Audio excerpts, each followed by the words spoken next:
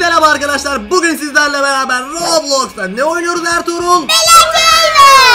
Bugün kardeşimi Brokeman'da zorlu fakirlik testine sokacağım. Bakalım Ertuğrul iyi bir fakir olabilecek mi, olamayacak mı? Sence olabilecek misin? Olabileceğim. O zaman bu fast fakir teste başlamadan önce sizlerden video like başladan kanalımıza abone olmanızı istiyorum. Eğer yaptıysanız adamsınız. Ve bildirimleri de ben açmayı unutmayın. Hadi şimdi o zaman zorlu fakirlik testimiz başlasın. An itibariyle oyunumuza girdik. Reis her zamanki gibi burada. Şimdi ne demiştik? Fakirlik testi. O zaman ne yapmamız lazım ilk önce Ertuğrul? Hazır olmamız lazım ve başlamamız lazım. Kesinlikle o zaman kendini fakire dönüştür. Bakalım Ertuğrul fakir olursa nasıl bir fakir oluyormuş? Ben hazırım. Evet Ertuğrul kendini böyle bir fakir yapmış. Bu arada baya güzel yapmış bence. Baya baya fakir olmuşsun yani görüntü olarak. Kirli sakallar falan yırtık elbiseler. Ama yüzünde değişmeyen tek şey mutluluğu. Para mutluluk getirmez. Oo, bu lafı bir yerlere yazın. Para mutluluk getirmezmiş. Tamam şimdi teste başlamak için hazır mısın? Hazırım. O zaman ilk testimize dilencilikle başlıyoruz. Ertuğrul şimdi senin dilenci olman lazım. Tamam o zaman. Güzel bir günde yolda yürüyoruz. Her şey çok güzel. Aa burada bir tane fakir var galiba. Abi 5 lira verir misin? ya kardeşim veremem bende de yok ya. Hadi be abi. Kardeşim ya sizde çok para var. En çok para sizde var. Hala dilencilik yapıyorsunuz. Utanmıyor musunuz be? Ya biz dilencilikten para kazanamıyoruz. Sizin Nasıl para kazanamıyorsunuz? Sizin vermeniz lazım benim Ya ben biliyorum sizin. Ben sizin var ya işinizi biliyorum. İşinizi tomarla parayla geziyorsunuz cebinizde be. Benim fakir kıyafetiyle. E ne yapıyorsun sen? Evli misin? Çoluk çocuğun var mı? Yok ben evli değilim ben sokakçıyım. Sen evli değilsin. Sen sokakçı mısın? Evet. Gerçekten aç mısın? Aşım. Ekmek mi alacaksın? Evet. Cebimde de son 5 liram vardı. Al o da senin olsun be. Gerçekten cebimde 5 lira mı vardı? Evet be kardeşim onu da sana verdim. Üzüldüm mü? Ben yine kendime yiyecek ekmek bulurum da sen belki bulamazsın. Al senin olsun. Fakirsin. Nasıl daha fakirim? Oo!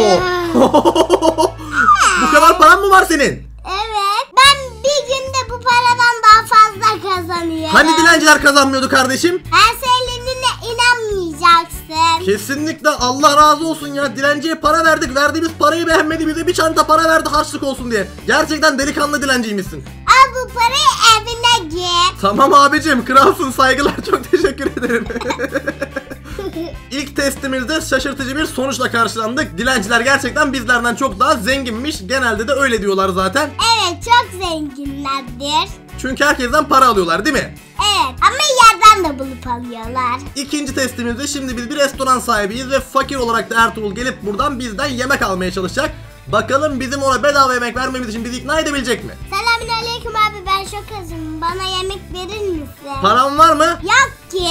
E paran yoksa nasıl yemek yiyeceksin kardeşim burada? Bedavaya mı satıyoruz biz yemekleri? Abi kaç gündür yemek yemedim be. Kaç gündür yemek yemedin mi gerçekten mi? Evet. Sen şimdi en son ne zaman yemek yedin ve ne yedin? En son şeften bulduğum ekmeği yedim. Çöpten bulduğun ekmeği mi yedin? Vah canım halimize şükretmek lazım. Neyse tamam geç bir masaya otur. Eyvallah abi kralsın. Fakirleri de sevindirmek lazım arada. İyi tamam o zaman ben sana bir tane tavuk döner bir tane de ayran getiriyorum tamam mı? Tavuk? Şimdi misin? Cimri misin derken? İnsan köpek getirir be. Ha bedavaya geldin kebap yiyeceksin öyle mi? Evet. İçecek olarak ne istersiniz? Fanta. Oo tabi paşam. Bundaki keyif paşada yok resmen. Şu oturuşa yayılmaya bakar mısınız? Babanın mekanı mı sandın burayı? evet. Neyse tamam fakirdir. Hayatında kebap yememiştir belki. Canı çekmiştir. Biz getirelim. Alo kanka keriz birisini buldum. Bedavaya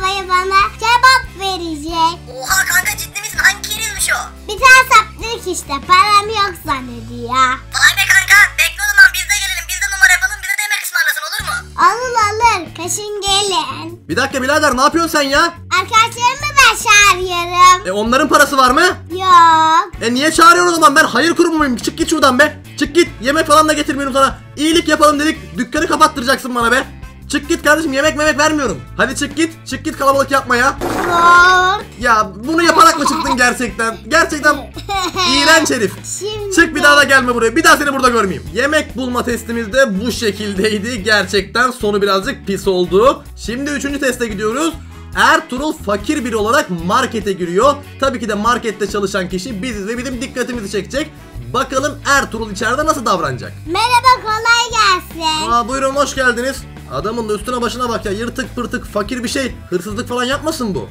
Neyse belli etmeyeyim adama. Benim karnım açtı. Alışveriş yapmak için geldim. Tabii beyefendi buyurun keyfinize bakın. Hiç de güvenmiyorum bu adama ya. Ben en iyisi şunun böyle yanında bekleyeyim bir şeyler çalmasın bu şimdi ya. Sen niye başımda bekliyorsun? Şey şey ben dondurma rafında eksik var mı diye bakmaya geldim. Sizde bir alakası yok ya. Şöyle bir bakayım eksik bir şey var mı? Yok galiba. Aa nereye gitti? Beyefendi durun bakalım bu dolaplara da bakmam lazım. Ben hırsız mıyım? Niye beni takip ediyorsun? Yok estağfurullah ben öyle bir şey demek istemedim. Haklısınız. Ben ben kasaya geri döneyim en iyisi. Eskiden bir liraya bir sürü şey alıyorduk. Şimdi alamıyorum her yerde kamera var.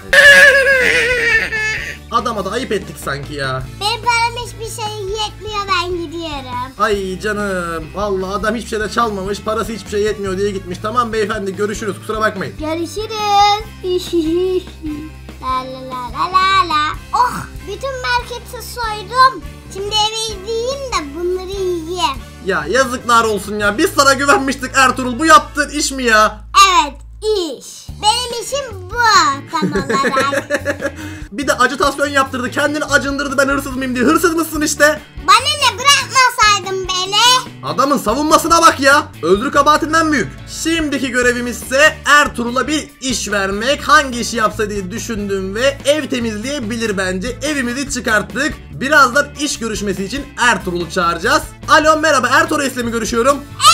Ben iş ilanınız için aramıştım. Temizlikçi olarak iş yapmak istiyorsunuz. Doğru mudur? Hayır. Nasıl hayır abicim sen ilan vermedin mi? Paraya ihtiyacım var. Ne iş olursa yaparım demedin mi sen ya? Dedim. Tamam işte onun için aradım ben de. Benim evimi temizleyecek birine ihtiyacım var. Gelir misin? Dur bir düşüneyim. Ya paraya ihtiyacı olan adam dur bir düşüneyim der mi Ertuğrul? Gelsene ne bekliyorsun? Tamam at. Atıyorum hadi bekliyorum birazdan. Bu işte nereden çıktı be? Kolay gelsin Acı abi. Hacı abi ne be? Az önce telefonda sizinle konuştum değil mi? Beyefendi niye duvara bakıyorsunuz? Ben buradayım.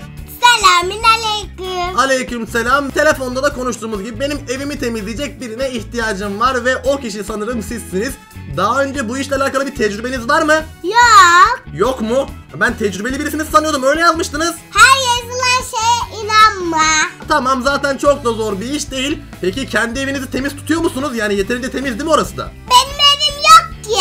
He, nerede yaşıyorsunuz? Sokakta. Sokakta. Harika. En azından temiz bir yerde yaşıyorsunuz değil mi? Sokağın da temiz yerleri var en azından. Yo şöpün yanında. Olsun olsun bunlar çok önemli şeyler değil. Peki ne kadar para istiyorsunuz bu evi temizlemek için? 5000 lira. 5000 lira mı? 5000 lira ev mi temizlenir? 5000 liranın üstüne birazcık daha koysam yeni ev alırım zaten. Hayır. O zaman temizlemiyorum. Ya bakın çok ihtiyacım var. Annemler falan gelecek. Evi böyle pis halde görmemelerini istiyorum ya. Birazcık indirim yapsanız olmaz mı? Olur 6000 lira. Tamam anlaştık. Bir dakika az önce ben kazıklandım galiba. Yapacak bir şey yok. Anlaştık bir kere. Tamam madem yapacak bir şey yok bu saatten sonra işe başlaman lazım. Hızlı bir şekilde evdeki çöpleri çıkarmaya başla. Tamam başlıyorum. Beni niye kucağına aldın? Ne yapıyorsun? En büyük çöpe atıyorum. En büyük çöpü atıyorsun. Ertuğrul ev sahibi benim. Ben çöp değilim ya. Çöpsün çöpsün. Ya tamam ben evde durmayacağım. Git evi temizle hadi ben dışarıdayım. Umarım Ertuğrul evi temizlemeye başlamıştır. Oh bu evde çok güzelmiş. Birazcık keyif yapıyorum bari. Şöyle bir dışarıdan bakalım evi nasıl temizliyor. Ertuğrul ne yapıyorsun? Evi temizlesene. Bir sus yerim Filipi. Ya ne benim evimde niye benim koltuğumda benim pizzamı yiyerek film izliyorsun? Ben sana bunun için mi para verdim? Evet anlaşma böyle. Ya böyle temizlik olursa evi pisletiyorsun ya. Tamam sus ağlama şimdi temizleyeceğim. Ben bence eve gireyim. Ertuğrul kapıyı niye kilitledin? Ben nasıl gireceğim eve? Şefler girmesin diye. Ya ya kendi evimde çöp oldum Ertuğrul. Bak beni daha fazla kızdırmadan temizliğe bir an önce başla. Annem babam gelecek diyorum. Tamam be bir film izlettirmedin. Ertuğrul ne yapıyorsun Ertuğrul? Süpürüyorum eve. Ertuğrul elektrik süpürgesi değil biliyorsun değil mi? Çim biçme makinesi. Nasıl ya? Ertuğrul mahvettin salonu Ertuğrul. 10 bin liralık zarar verdin salona ya. Çim biçme makinesiyle salon mu süpürülür? Sus sen benim işime karışma. Of. Dur benim içeri girmem lazım. Şöyle kapıyı da kilitleyelim. Kendi evimde yabancı oldum. Bu kadar çalışma yeter ben uyumaya gidiyorum. Nereye gidiyorsun Ertuğrul? Kendi evine git bari uyumaya. Benim evimde mi uyuyacaksın? Evet. Anlaşmamızda bu da vardı. Ya ben öyle bir anlaşma yapmadım ya. Ya çık yatağımdan. Çık ya çık git tamam git evimden git. Bu ev artık benim öyle anlaştık. Nasıl bu ev artık senin öyle bir şey anlaşmadık ya. Al paranı da kardeşim. Al şu parayı nerede? Al şu paranı git evimden ya. Asıl sen benim evimden git. Ya senin falan değil Ertuğrul. Benim evim bu. Ya senin evin değil ki benim evim. O kadar boşuna mı temizledin? Adam çim biçme makinesiyle salonumun içinden geçti diye evi ortak olduğunu sanıyor. Pizzamı da yemiş. Evi şimdi boşalt benim arkadaşlarım gelecek. Biraz sonra gelirsin. Oldu paşam. Arkadaşların gelecek de evi boşaltacağım öyle mi? Evet. Hadi çık kardeşim evinden bak polis mi çağırayım illa? Heh git ya git yürü git. Git orada oturma git git çık dışarı ha. Ne çektirdi bize ya gitsin ya Allah Allah. Kendi evimde yabancı oldum resmen. Böyle tanımadığımız insanları eve almamak lazım da bir dakika bir sıcak bastı beni ne oluyor? Ne oluyor? Ertuğrul. Ertuğrul vur mu yaptın? Evi mi yaktın seni evi almadım diye Ertuğrul gel buraya. Gel buraya Ertuğrul. Gel buraya gel. Gel gel gel. Sen gel gel, buraya. Silah milah sopa mopa bir şey yok mu ya? Gel buraya gel gel. Sen ya hala yukarı çıkıyor. Dışarı çık kardeşim. Mahvettin evi gel şuraya ya. ya güzelim ev yandı bitti kül oldu simsiyah oldu benim güzelim evim ya. ya. ya güzelim evi ne yaptın Ertuğrul ya? Yaktım işte güzel oldu be ev. Ben seni nasıl dışarı çıkaracağımı biliyorum. Yürü git. Yürü git evimden ya. Mahvettin beni ya. Silah çekiyor bir de. Ya bu ev mahvoldu. Ben şimdi nasıl toparlayacağım bu evi? Selamün aleyküm. Temizlikçi lazım mı? Temizlikçi lazım mı diye utanmadan soruyor musun bir de? Bu evi bu hale sen getirdin be. Alt tarafı yerleri süpürecektin, masaları silecektin, evi küle çevirdin. Bir şey olmaz böyle daha güzel oldu. Ağlamak istiyorum. Ertuğrul git sal beni. Git başkasıyla uğraş ne yapıyorsan. Ben daha fazla tahammül edemiyorum arkadaşlar. Siz de yorumlarda yazın. Ertuğrul sizce bu testi başarılı bir şekilde geçebildi mi? Geçemedi mi? Ve bir sonraki bölümde Ertuğrul'u ne testine sokayım? Videomuzun burada sonuna geldik. Bir sonraki bölümde görüşmek üzere. Kendinize çok iyi bakın. Hoşçakalın.